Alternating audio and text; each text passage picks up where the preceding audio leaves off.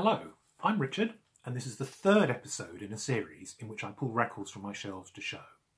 Today, I have included some 70s UK blues rock, post-punk, reggae, and classic 70s UK hard rock. I would mention that all of the albums I am showing can be bought for £10 or less in the UK. First up is this album by Julia Fordham. She's a British singer-songwriter born near Portsmouth, Hampshire, now based in California. Her professional career started in the 1980s as a backing singer. This is her first solo album, self-titled, released in 1988 on Circa Records. It reached number 20 in the UK album charts and the song Happy Ever After was a minor charting single. She has a very distinctive voice, and on this album there is a jazzy, soulful pop style. Her singing reminds me a little of Annie Lennox. This is an album copy with an extra 12 inch comprising of six live tracks.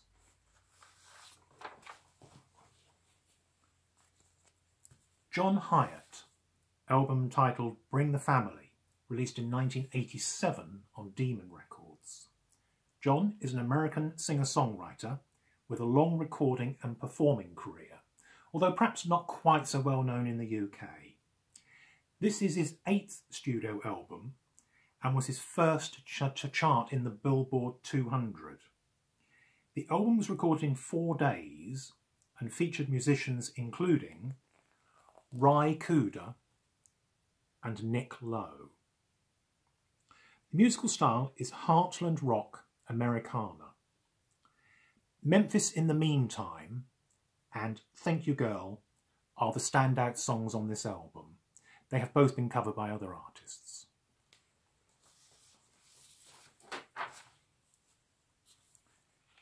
Medicine Head, album titled Through a Five, released in 1974 on Polydor Records.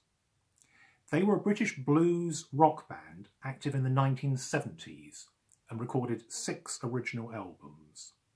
Their biggest single success was in 1973 with One and One is One, which reached number three on the UK singles chart.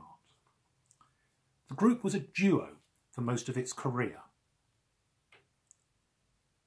John Fiddler and Peter Hope Evans augmented with other musicians, including Keith Relf, Tony Ashton, and Morgan Fisher, Mott the Hoople.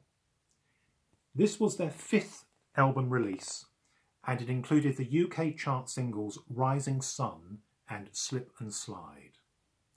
Despite constant touring, often as a supporting act, they failed to place an album on the UK chart. They finally folded in 1977.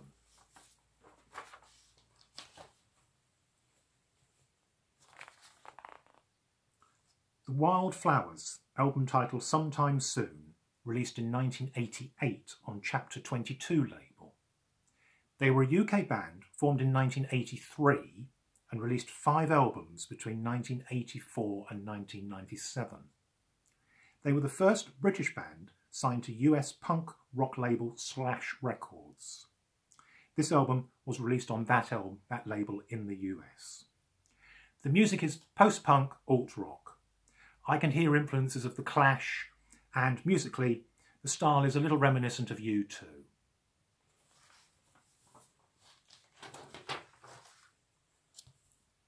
Westworld, album titled Where the Action Is, released in 1987 on RCA Records. Westworld were a British-based band formed in 1986 by former Generation X guitarist Bob Andrews and American vocalist Elizabeth Westwood. Visually, the band was styled reminiscent of comic book art and musically were a blend of 50s rock and roll, glam and punk, updated with beatboxes.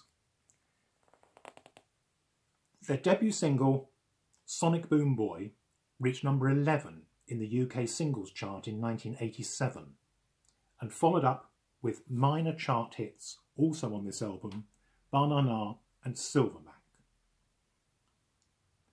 They released two further albums in 1988 and 1991 to very modest success, and they moved to the US in 1992, returning to the UK in 1994 to become the, a band named Moondog, which was an experimental electronic pop rock act.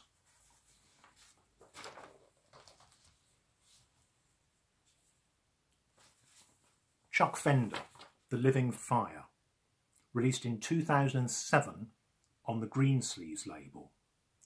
Real name Be'Shawn Whitehead. He's an American Jamaican musician and DJ. Born in Brooklyn, raised in Jamaica. He has released five studio albums, the most recent in 2013. This is his second album. His songwriting is known for its hard-hitting, social conscious lyrics.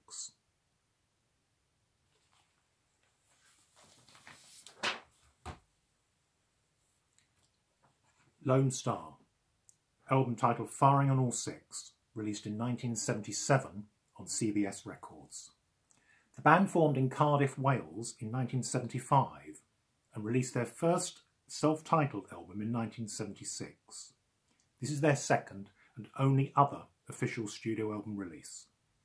They split up in 1978, citing management and band member interpersonal issues.